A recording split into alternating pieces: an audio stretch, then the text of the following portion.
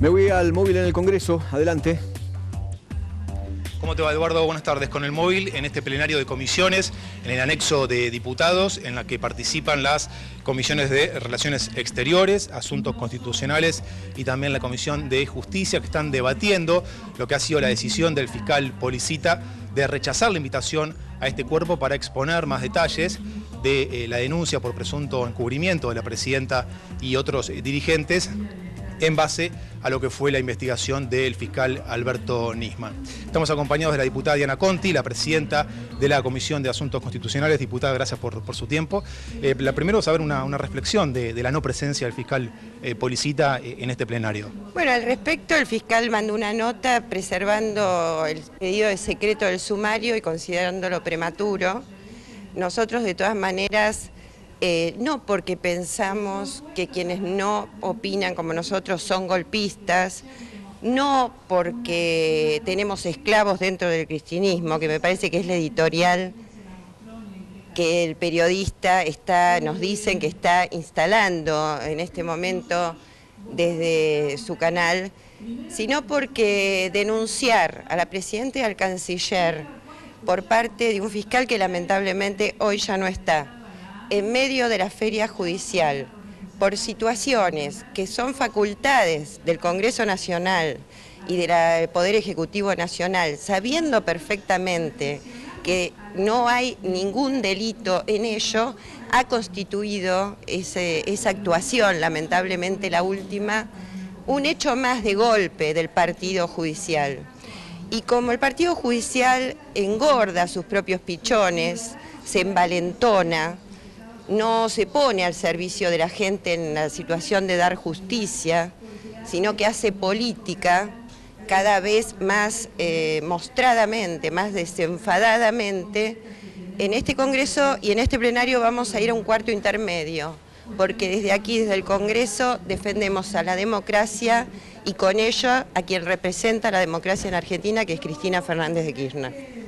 Eduardo, ya te escucha la diputada Diana Conti. ¿Qué tal, Diana? El periodista es Eduardo Feynman, soy yo. Y creo que estoy hablando con la diputada que dijo que hay que, ir, hay que ir contra Nisman con los tapones de punta, ¿no? ¿Estoy hablando con la misma diputada? No, no lo dije. Sabes bien que no lo dije porque sos un buen periodista, sabes que esa es una frase que acuñó Jorge Rial, que me estaba entrevistando, y yo le dije, y sí. Eh, de todas maneras, para defender a la democracia y a la presidenta de la Nación, eh, algunos de nosotros tenemos la vehemencia de quien en un partido deportivo eh, juega con los tapones de punta y lo vamos a seguir haciendo. Ok, pero usted le dijo a Jorge Rial, él le dijo, ¿cómo fue el, diálogo? Él le dijo, ¿pero qué van a ir con los tapones de punta? Y usted dijo que sí. Ya es, ya la frase podría haber sido mía, pero la dijo Jorge y yo le dije, sí, no, vamos a ir a hacerle preguntas. Incluso ese día no estaba vehemente yo, extrañamente, sería porque era la mañana. Sí. Ok.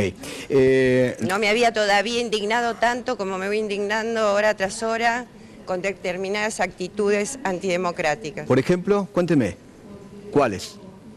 No, Eduardo, pregúntame lo que vos quieras. Y le, quiero, le estoy preguntando eso. ¿Cuáles son las actitudes antidemocráticas que está viendo? ¿Cuáles son? Las actitudes antidemocráticas son jueces que permanentemente han desafiado a la soberanía popular, al Congreso Nacional y al Poder Ejecutivo, declarando inconstitucionalidades, haciendo medidas cautelares eh, para frenar cualquier acción de gobierno que el pueblo quiere tener porque para eso se expresa y nosotros los representamos.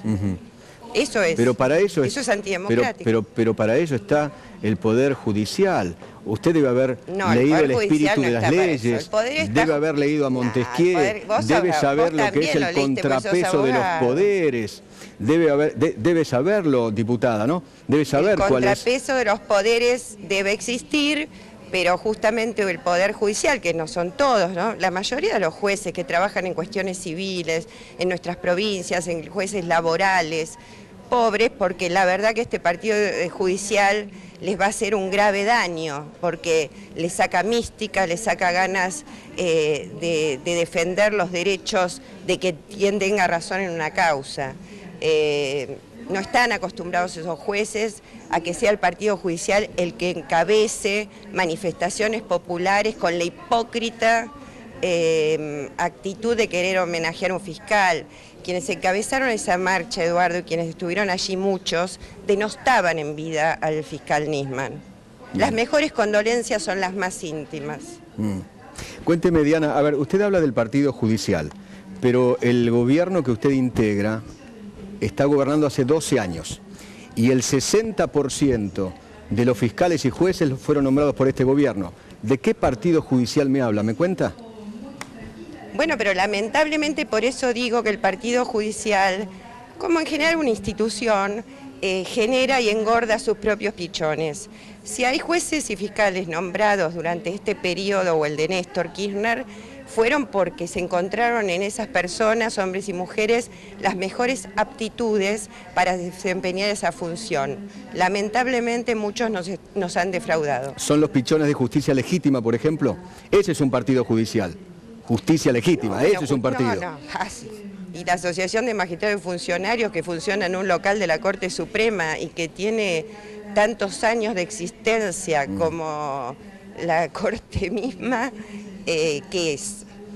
Pero, a, ver... Eh, a mí no me parece mal que haya debate interno en el judicial y agrupaciones que se junten para discutir lo que mm. Antes de este periodo solo quedaba como un pequeño debate académico en las universidades. Diana... Me parece bien que se trasladen debates dentro del Poder Judicial, pero hasta ahí. Diana, antes de la marcha, ustedes eh, movían el fantasma del golpe.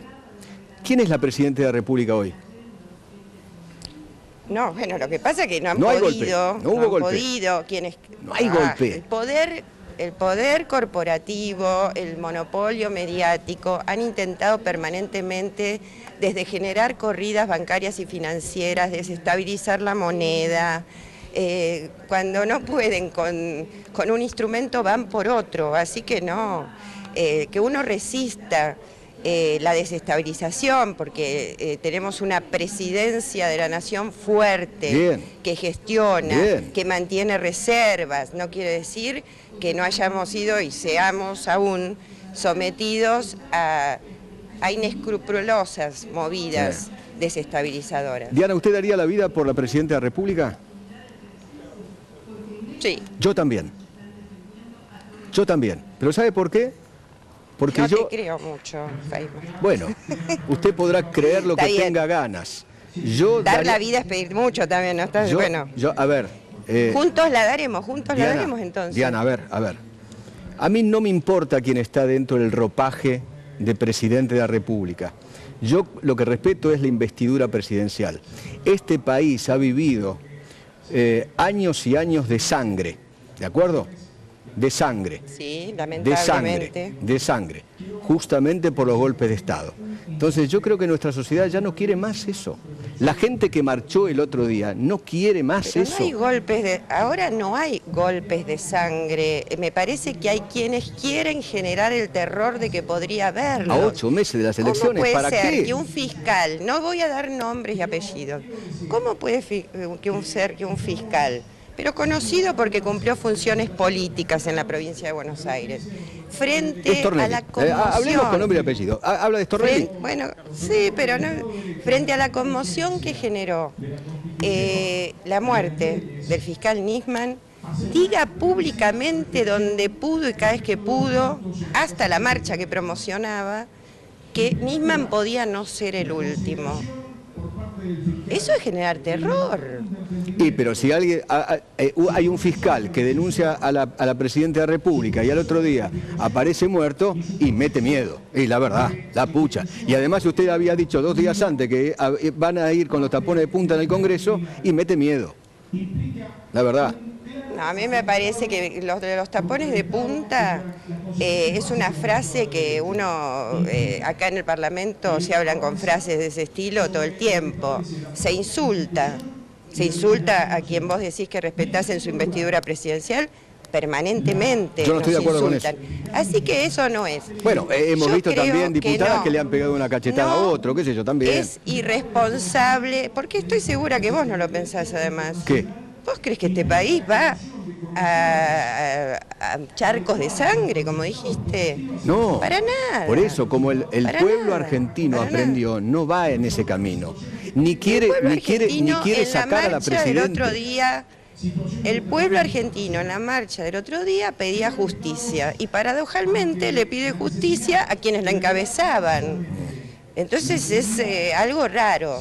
Permítasenos a nosotros hacer las lecturas políticas que hacemos Pero claro, de ese hecho y otros harán la que quieran. Permítame, permítame a mí disentir, porque usted arrancó diciendo no, porque usted Feynman dijo... te permito disentir, tanto te permito que estoy dialogando con vos, porque también dialogamos. Y mire qué democrático que soy, también dialogamos. con usted. Cara a cara, ponemos, el cuerpo no se lo, sacamos a nada, usted y yo no lo hacemos lo vamos a sacar. Diana, ¿usted y yo no lo hacemos hace años? Sí. Años. Sí, sí, por supuesto. Pero no es que yo no te y eso es lo más maravilloso, eso, es lo más maravilloso de la democracia, lo más maravilloso. Eh, la editorial que querés imponer y te invito a la reflexión y a que la repienses y que volvamos a hablar otro día. No, yo estoy convencido que del gobierno o se es amigo o se es esclavo.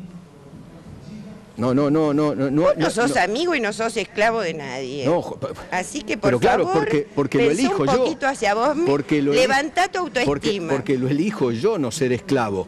Y porque lo elijo yo no ser amigo. No sos esclavo porque tenés la libertad y claro, que existe en esta democracia que supimos conseguir entre todos y que Néstor y Cristina se pusieron al frente de ella. Pero no es, no es terminémosla así. No es, no es, no es el gobierno el que, el que logró la democracia, es el, todo el pueblo argentino. ¿Eh? Y la libertad de prensa no la logró Cristina Fernández de Kirchner ni Néstor Kirchner, la logró todo el, pueblo argentino, la sociedad. Sí, bueno, pero el delito de injurias y calumnias para ustedes se los derogamos nosotros. Exactamente. Antes, antes no lo lograron. Entonces, muchas cosas que logramos entre todos, Néstor y Cristina tienen el coraje de tomar la decisión ah. correspondiente. Diana, le mando un beso muy grande. A uno le gusta que se lo valoren. Le mando un beso Yo muy también te mando un beso. Gracias, ¿eh? Gracias por disentir. Chao. Chao. ¿Algo más, querido Rutia? ¿Nada más? Ok. No, después, no, Eduardo. si, hay, si hay otro testimonio, con todo gusto. ¿eh? Escuchamos todas las voces. no, en C5N y el diario este escuchamos todas las voces. ¿eh? Eso es lo que vale. ¿Cómo no, Eduardo? Pausa.